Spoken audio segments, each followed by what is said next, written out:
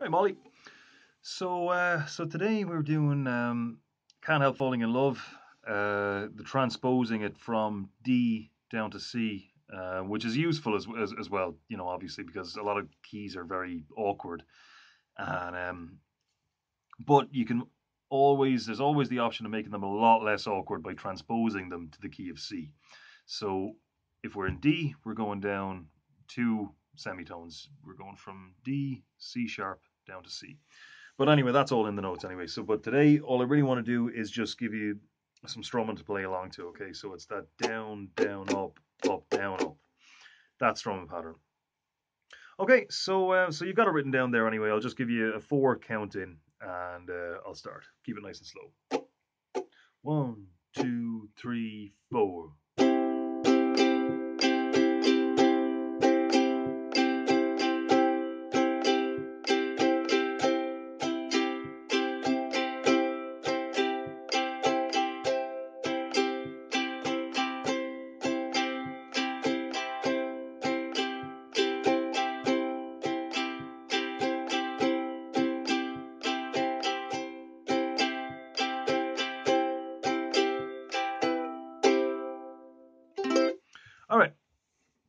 So now, when it comes to you know posture and all that, everybody's kind of got to figure that out for themselves to a certain degree, right? But if if it feels kind of awkward and you're kind of holding your body in a position that's not natural, you probably want to change it up a little bit.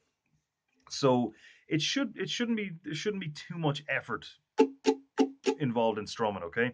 Now, now as I was saying, you know, kind of be expressive about it. You know, kind of when you're coming down, a little bit of a bring it up a bit, little bit of a flick. Okay. Same with the thumb.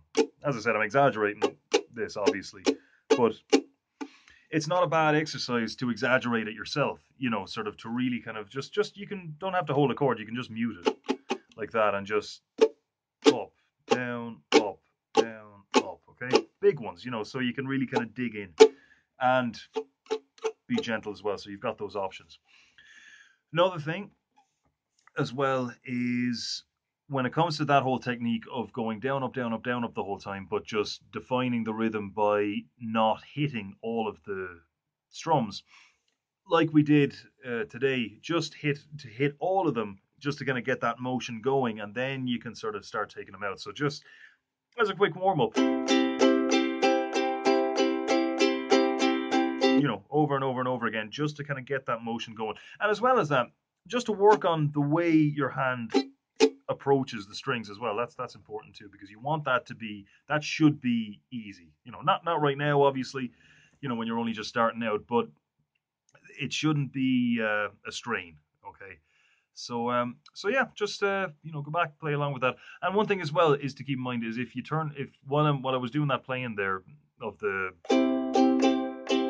that pattern, if you turn off the volume and just look at my hand, it's just up, up, up, up, up, up, up and down, up and down.